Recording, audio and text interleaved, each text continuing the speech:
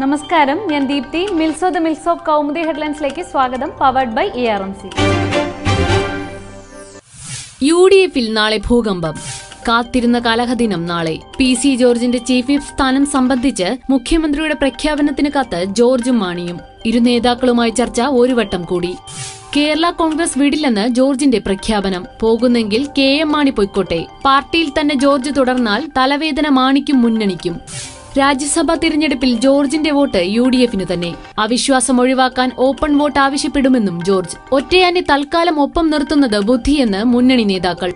Chief whip സ്ഥാനം പിൻവലിക്കുന്നതിൽ ഏകാഭിപ്രായം. പക്ഷെ ജോർജിനെ ഏതു വിധത്തിൽ മുന്നണിയിൽ തുടരാൻ അനുവദിക്കാമെന്നതിൽ തർക്കം. ഒരു വിധത്തിലും അംഗീകരിക്കില്ലെന്ന കടുംപിടുത്തത്തിൽ കെ എം മാണി. അങ്ങനെയൊക്കെ പറയാമോ?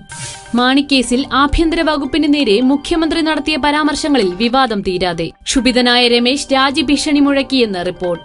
മുഖ്യമന്ത്രിക്ക് തന്നെ വിശ്വാസമില്ലെങ്കിൽ രാജിവെക്കാമെന്ന് ആഭ്യന്തരമന്ത്രി ഫോണിൽ അറിയിച്ചത് എ കെ ആന്റണിയെ. വിവാദത്തിൽ വിശദീകരണത്തിന് ഉമ്മൻചാണ്ടി തയ്യാറായത് ആന്റണി ഇടപെട്ട ശേഷം. രമേശിനെതിരെ ഉമ്മൻചാണ്ടിയുടെ കരുനീക്കത്തിൽ കടുത്ത നീരസവുമായി ഐ ഗ്രൂപ്പ്. മാണിക്കെതിരെ കേസെടുത്തതിൽ രണ്ട് അഭിപ്രായമുണ്ടെന്ന പരാമർശം പിൻവലിക്കണമെന്ന് ആവശ്യം. രമേശിനെ പിന്തുണച്ച് മന്ത്രി ആര്യാടനും രംഗത്ത്. മാണിയുടെ കാര്യത്തിൽ രമേശ് പറഞ്ഞതാണ് കോൺഗ്രസിന്റെ അഭിപ്രായം. മുഴുവൻ കോൺഗ്രസുകാരും രമേശിനൊപ്പമെന്നും ആര്യാടൻ. കലങ്ങിമറിയാൻ കെ പി സി സി. ബാർക്കോഴയിൽ പൊട്ടിത്തെറിക്കാൻ നാളെ കെ പി സി സി. ഭാരവാഹികളുടെയും നിർവാഹക സമിതി അംഗങ്ങളുടെയും യോഗം കലഹത്തിൽ കലങ്ങിമറിയും. മുഖ്യമന്ത്രിയുടെ വിവാദ പരാമർശങ്ങൾ യോഗത്തിൽ ഉന്നയിക്കാൻ ഐ ഗ്രൂപ്പ് തീരുമാനം. രമേശിനെ ലക്ഷ്യമിട്ടുള്ള ആക്രമണം എന്ത് വില കൊടുത്തും ചെറുക്കും. വിഷയം ചർച്ചയ്ക്കെടുക്കാതിരിക്കാൻ തന്ത്രങ്ങളുമായി മറുപക്ഷം.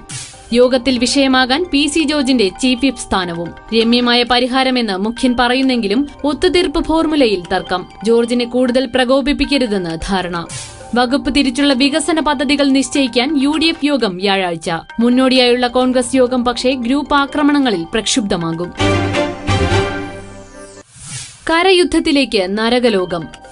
സൗദി വ്യോമാക്രമണത്തിൽ കത്തുന്ന യമൻ കരയുദ്ധത്തിനരികെ. പോരാട്ടം കൂടുതൽ രൂക്ഷം. മുഴുവൻ ഇന്ത്യക്കാരെയും നാലു ദിവസത്തിനകം ഒഴിപ്പിക്കാൻ തീവ്രശ്രമം. ഏതൻ നഗരത്തിൽ സൈന്യവും ഹൂതി പോരാളികളും നേർക്കുനേർ. തുറമുഖത്തേക്ക് അടുക്കാൻ കഴിയാതെ രക്ഷായാനങ്ങൾ നടുക്കടലിൽ. യാത്രക്കാരെ തീരത്തുനിന്ന് കപ്പലിലെത്തിക്കാൻ ചെറുബോട്ടുകൾ.